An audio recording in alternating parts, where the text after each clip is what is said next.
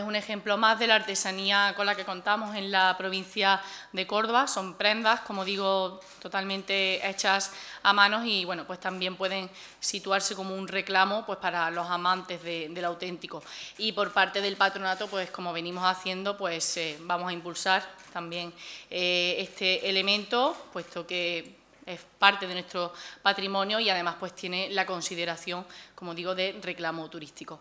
Eh, yo creo que es un acierto celebrar esta muestra pues, en los días previos a la Semana Santa,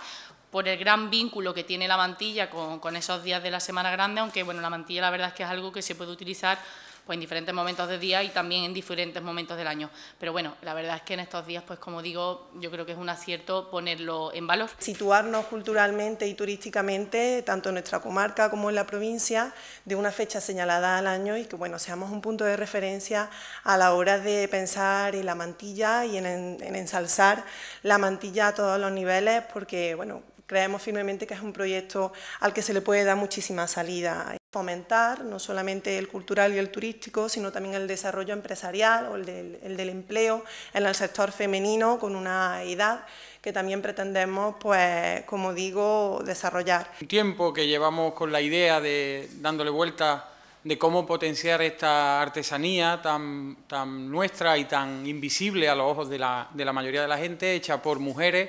pero que solo se, conocía la, la pieza final y se desconocía la artesanía. Vamos a llevar a cabo una primera muestra nacional de la mantilla, algo que desconocemos que se haya hecho en el resto de España hasta, hasta el momento, una muestra solo exclusivamente de, de la mantilla española